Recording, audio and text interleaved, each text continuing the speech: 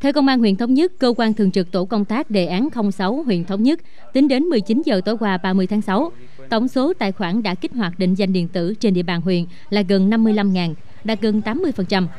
Trong đó kích hoạt mức 1 là gần 5.100 tài khoản, mức 2 là trên 49.800 tài khoản. Thị trấn Dầu Dây là địa phương đầu tiên của huyện về đích kích hoạt định danh điện tử với gần 8.200 tài khoản đã được kích hoạt, đạt trên 102% chỉ tiêu được giao. Tiếp đến là các xã Gia Tân 2 và Hưng Lộc cùng đạt gần 86% chỉ tiêu.